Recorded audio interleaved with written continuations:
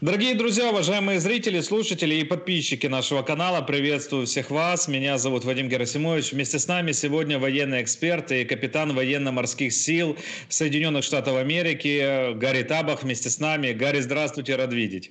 Здравствуйте, Вадим. Также рад всегда вас видеть.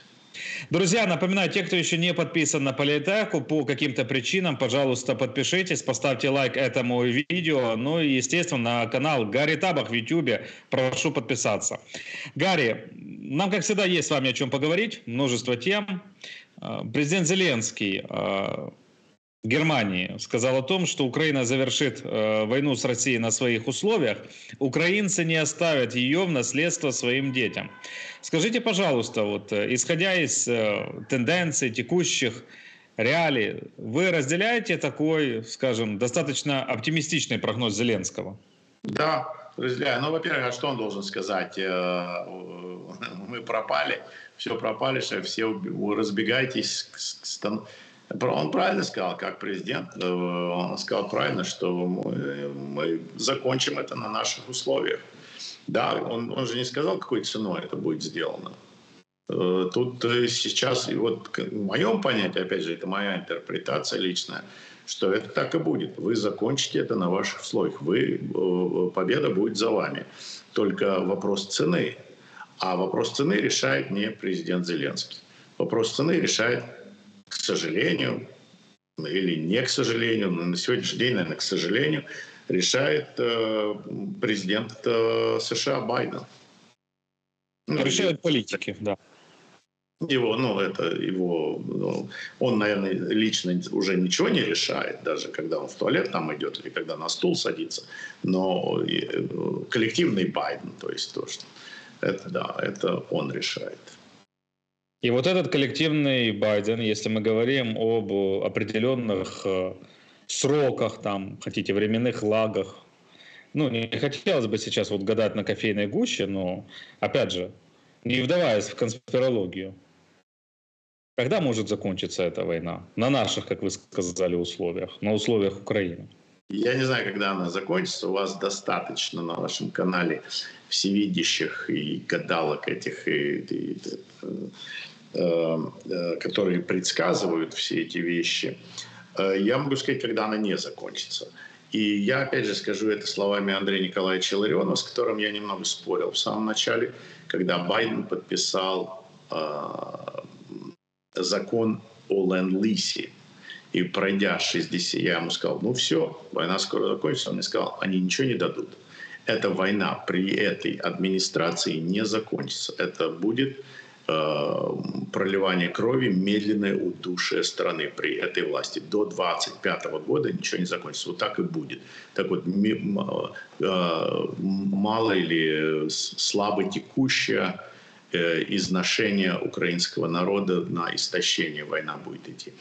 Я это не поверил, я с ним поспорил немного, но пройдя 60 дней, после 60 дней по закону США президент должен дать а, план действия по ленд-лизу. Когда он это не сделал, я тоже понял, что ленд-лиза не будет. Потом были вкиды у вас постоянно, что это с 1 октября начнется, Швейц такой майор делал, потом это запасной ход, нам на халяву дают халяву, берем, это будет стоить денег, нам не нужно, дают больше, чем надо, господин Гордон, итальянскому журналисту говорил это, Байден дает больше, чем надо.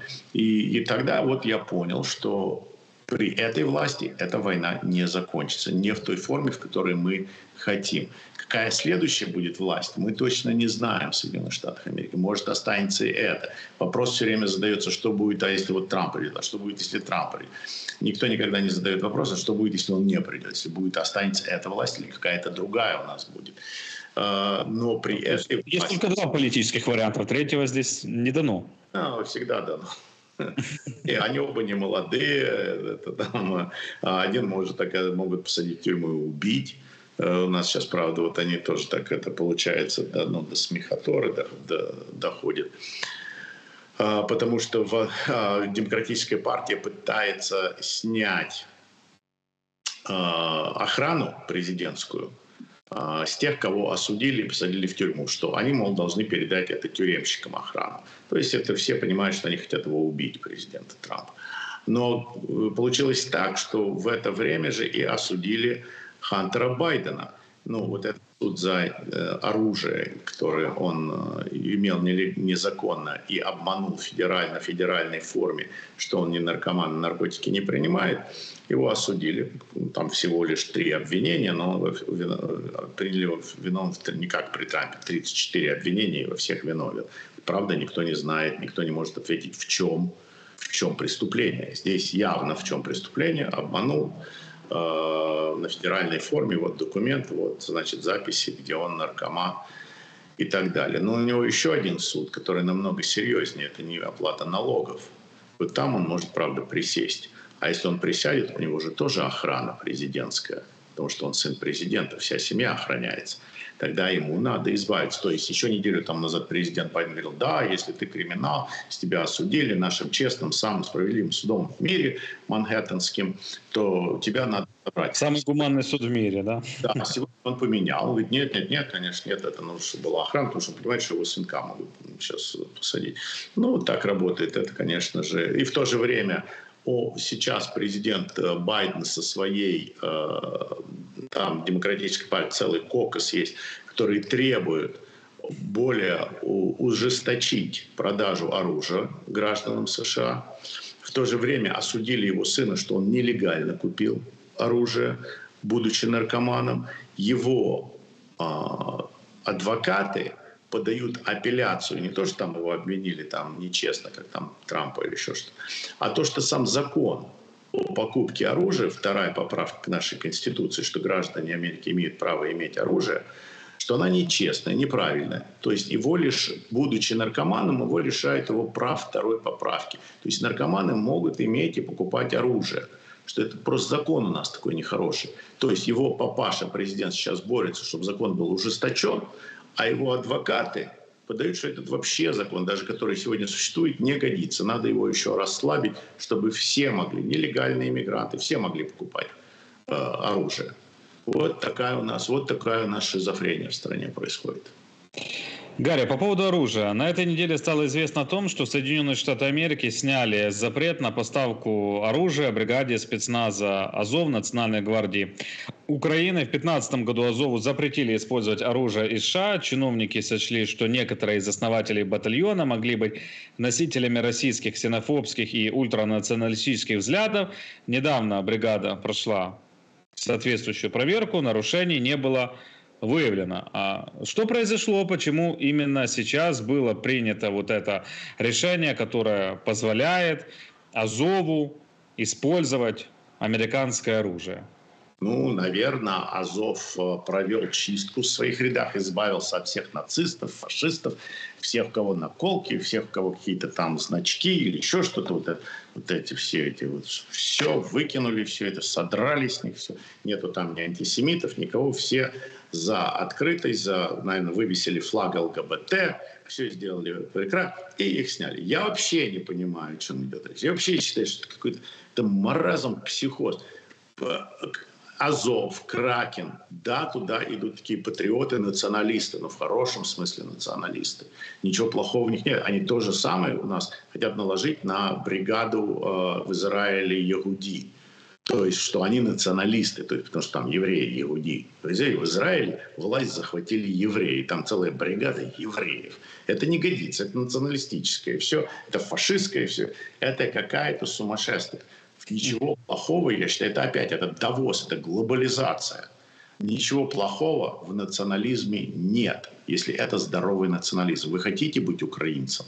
Будьте украинцем, воюйте за Украину, платите налоги, живите честно, учите мову. Я не хочу быть украинцем, я не украинец.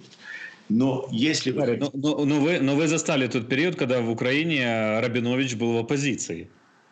Да, мне нравилось это, то, что президент еврей и оппозиция возглавляет евреи, оба называют себя друг друга фашистами, нацистами. Это свобода. Это все правильно. Но взять бригаду и э, э, ребят, которые добровольцы, которые самые агрессивные, которые самые хотят за вот этот здоровый национализм, и они воюют, и они проливают кровь, и их берут и ставят в такую ситуацию в Госдепе какие-то идиоты – но я знаю какие-то идиоты, тут тоже вина небольшая ваша, журналистов, и украинцы не, не подавая это правильно. И, конечно же, попадались там кретины или козлы, конечно. В любой такой организации, которая за национализм, за а, self-identification, за самоидентификацию, туда она привлекает к себе вот эти, которые любят там факела, барабаны, там разные эти наклейки, которые... И они, Нет, конечно... Ну, ну, не привязываясь к этой истории, как говорят в народе, что свинья свое корыто обязательно найдет. Это они, да, ну, настоящие бойцы, настоящие воины, я знаю их. Они избавятся от них, потому что это обычно трусливые, обычно они не совсем соображают, когда они сильно идеологически завязаны, которые у них там, там враги кругом чеченцы, кругом евреи, только мы хорошие, вот начинают там, сколько у тебя четверть, какие у тебя генофонд. Какой. Конечно, от этих людей надо избавляться. Но здоровый национализм, в нем ничего плохого нет. И, конечно же, они носят иногда а вот, ну, вот такие там, я знаю, нашивки или у меня как раз там, там такие нашивки, они все националистические, они все себя а, ассоциируют с чем-то, и они раздражают врага. Частенько мы надеваемся, раскрашиваем свои лица, индейцы это делали, чтобы испугать врага, чтобы показать ему, что... Конечно же, некоторые одевают вот эти вот вермахты э, орла, немецкого, чтобы раздражать русских этим, что да, хотите фашист. Чушь собачья. Вот они взяли, придрались к этому, к украинцам и, и, и взяли, налепили это лейбл на тех, которые самые боевые, чтобы их деморализировать. Почему это случается? Потому что у нас в стране, это, конечно, легче там свалить, что это российская пропаганда, это российские, значит, там, как это... Да, российское ИПСО, да. ПСО, да, что это, ну, это легче всего. Все российские, все российские консервы, это все, все работают на России. Нет, это частенько тоже, потому что у нас в стране есть тоже такие люди, как полковник Макгрегор, полковник Дэвис, там этот э, профессор Шмакендорф какой-то в Чикагском университете. Мы о них рассказывали, да. Мой бывший майор э, э, морской пехоты, бывших не бывает морских пехотинцев. Once a Marine, always a Marine. Но в этом случае он бывший, потому что он был осужден и он э, опозорил нас. Э, он был он педофил и отсидел три года за это.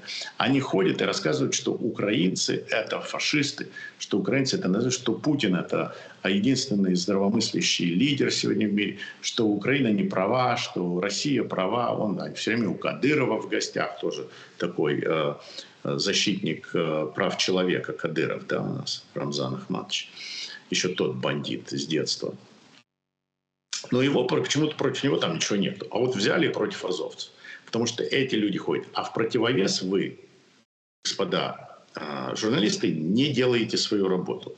Вы не раскрываете эти вещи, вы не говорите этих. У вас почему-то борьба с Трампом должна быть идти. А на это на все вы не отвечаете. Потом говорите, а потом удивляетесь, а как это у нас так Азов взяли и записали, или там Кракен взяли и записали в, в это. Не, ну теперь уже перезаписали. Раньше было табу, то теперь уже зеленый свет на использование оружия. Два с половиной года. И, и, и бедные ребята, азовцы, до сих пор сидят в тюрьме. Кто они там в, в плену? С ними не обходятся как с военнопленными, а обходятся как с террористами. Угу.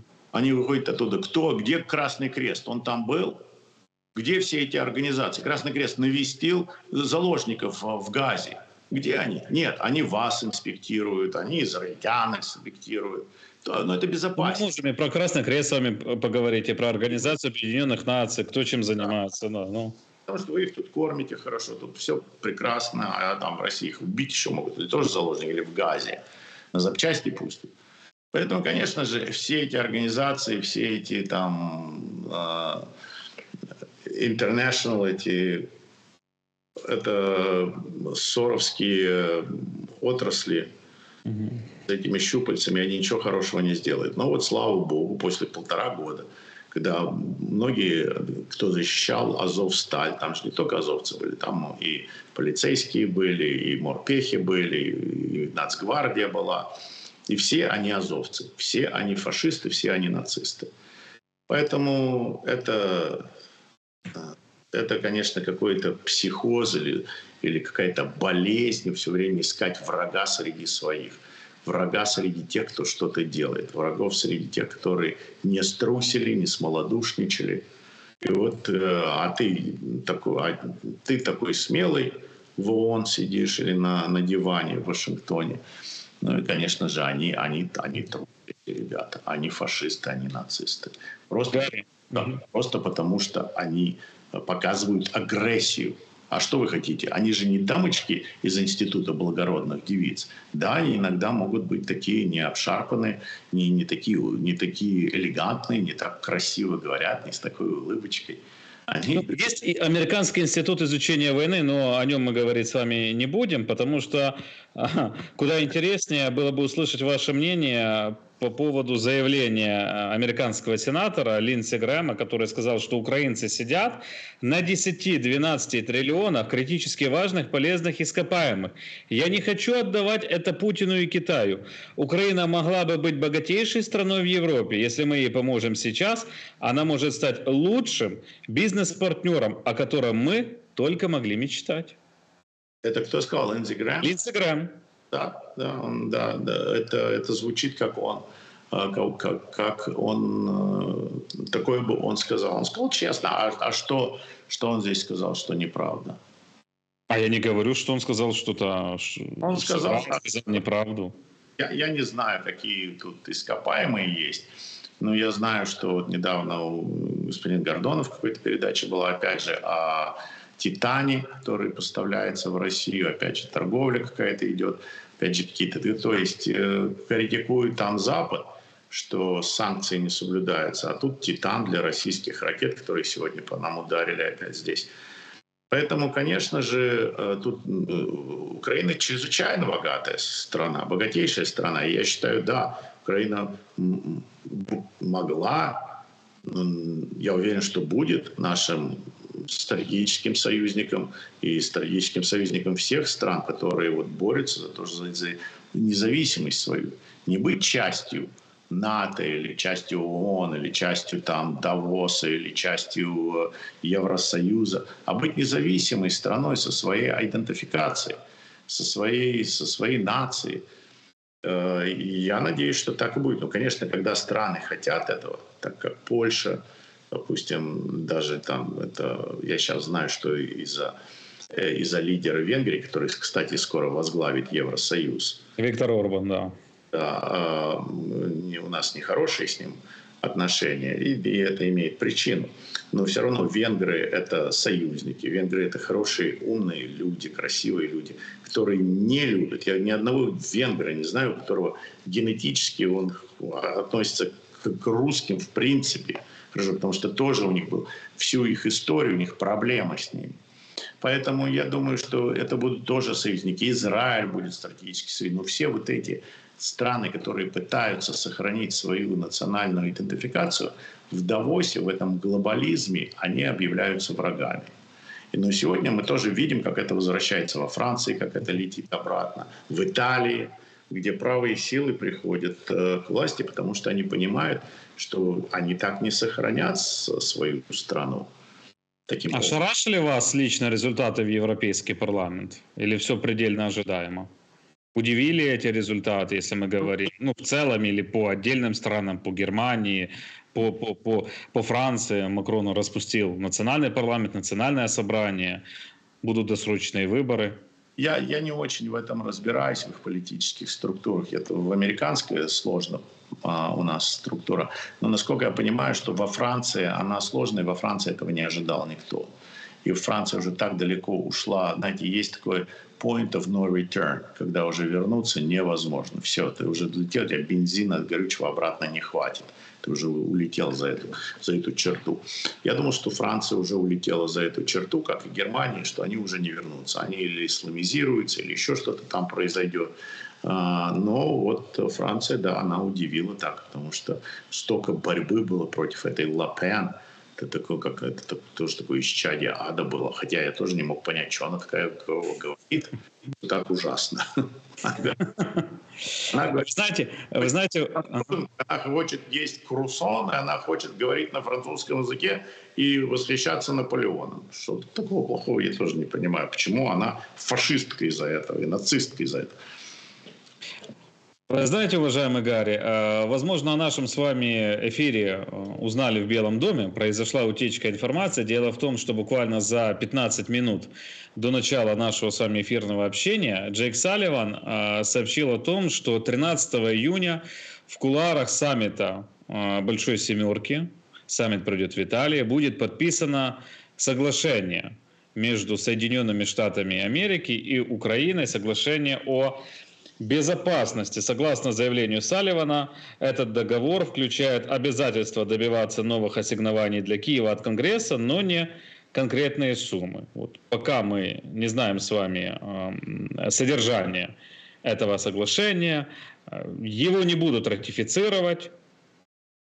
Что вы об этом думаете? Прекрасно, прекрасно. Вам опять обещают безопасность, опять обещают какие-то суммы в Конгрессе. А, чего вам в Конгрессе не хватает? В Конгрессе дали, первый раз проголосовали за, э, за ленд-лиз. Получили вы? Ноль. Ноль. С этого ни одного носка. Зачем подписывать? Зачем голосовали? Зачем Байден подписывал это?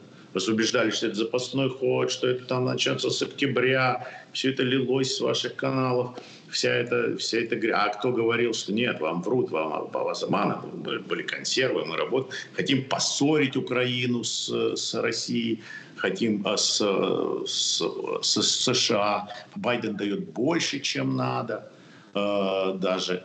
Все, а, давали. F-16 будет э, в, э, осенью, потом весной, потом летом, потом зимой, теперь опять летом, теперь опять весной, теперь опять... Вот-вот и признаем Россию государством-спонсором терроризма потом а, санкции из ада, долго на стуле он не удержится, если я буду президент.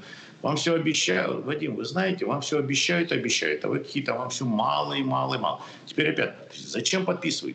F-16 где? Где F-16? Где ПВО? Почему сегодня опять полетели ракеты? Почему 30 Абрамсов или 31, а почему не 130? Да почему вообще ничего? Почему это все минимум? Почему в Харьков с, ли, с, с лица земли стирается до сих пор? Почему там гибнут дети до сих пор? Какие опять еще обещания? Какие опять договоры они подписаны? У нас все это есть и было. Дайте оружие Украине. Дайте оружие азовцам. Они вам покажут, как надо воевать. Весь мир будет на них смотреть и, и, и, и, удивляться этим воинам, этим 300 спартанцам.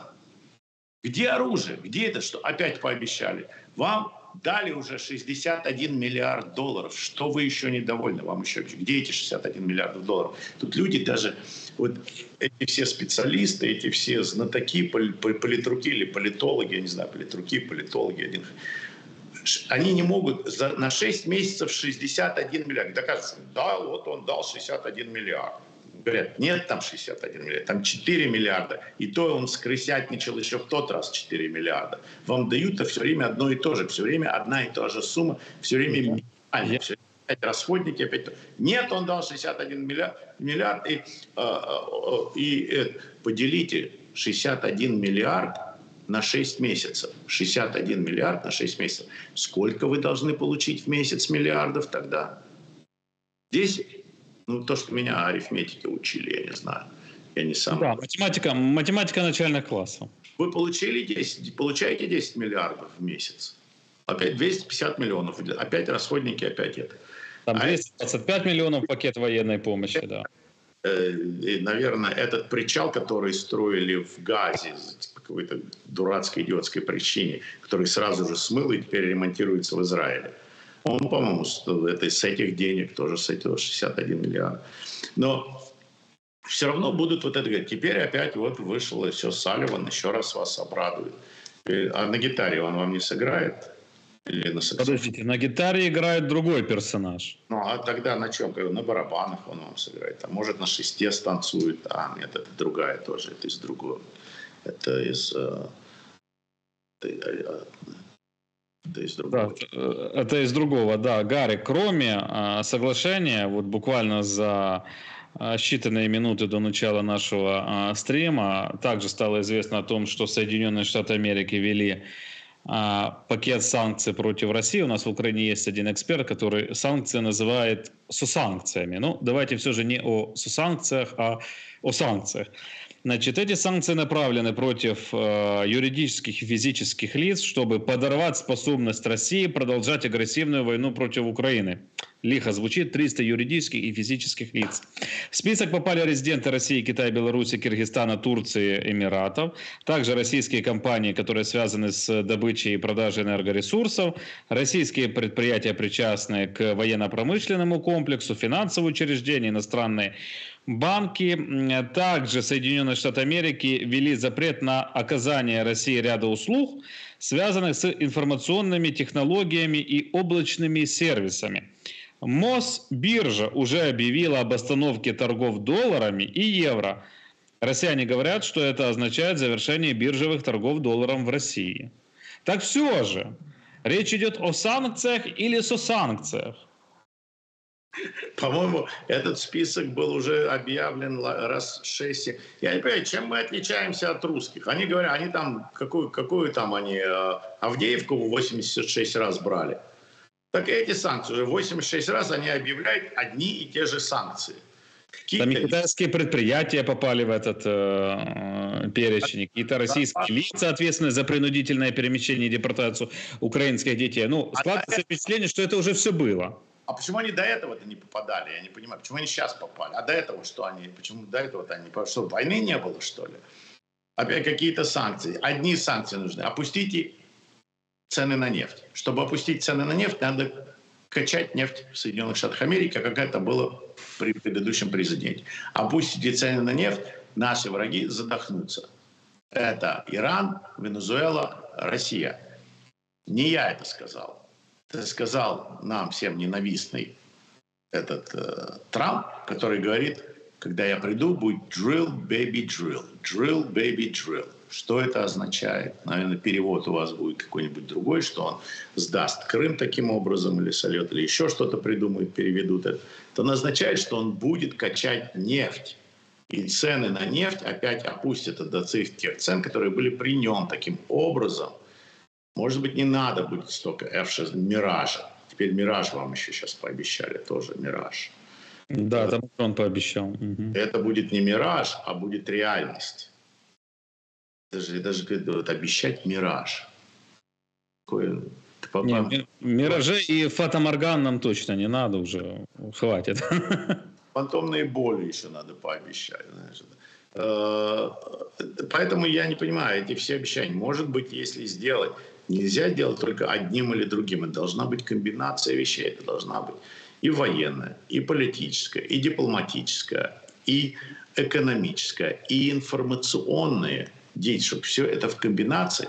И только тогда это можно э, землю украинскую и остановить эту войну на украинских э, условиях. Ну, смотрите, здесь, здесь четко усматривается какой-то политический ход. Дело в том, что 12 июня – это День России. Видать, к этому все это приурочено, соглашение э, американско-украинское по поводу безопасности, и вот эти санкции, сусанкции в отношении России со стороны Соединенных Штатов Америки. Решили поздравить Путина, да? Ну, значит, мы тоже мы сильно не отличаемся от него, потому что начали привязывать это не тогда, когда это нужно, а какой-то дате, к дню рождения там товарища Сталина или еще что-нибудь такое.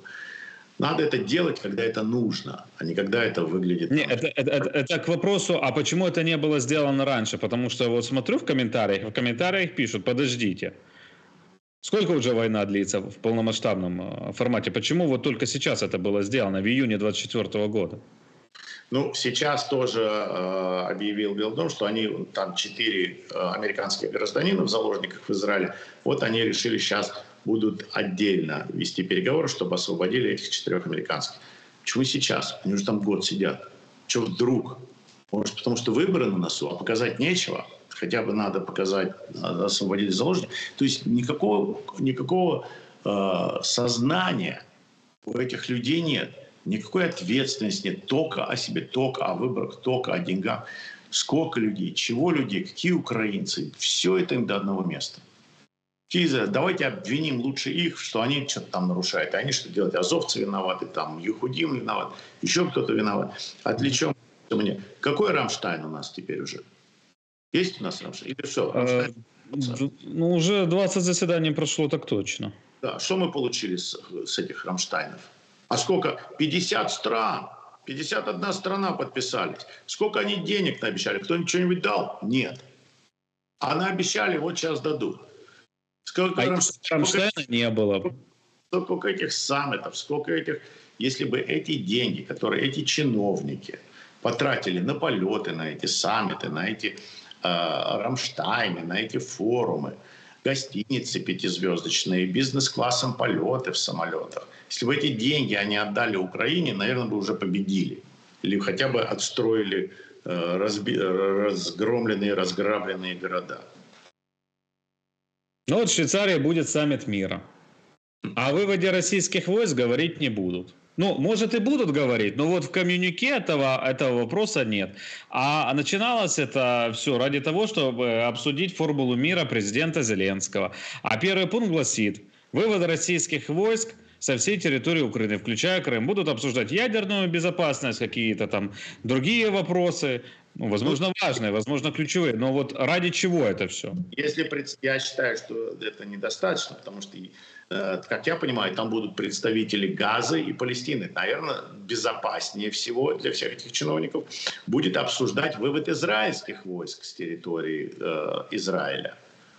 А Украина это опасно обсуждать на таких саммитах. Опасно, опасно можно. Украинская сторона это инициировала проведение этого саммита ради чего? Чтобы обсуждался вопрос газы, Израиля.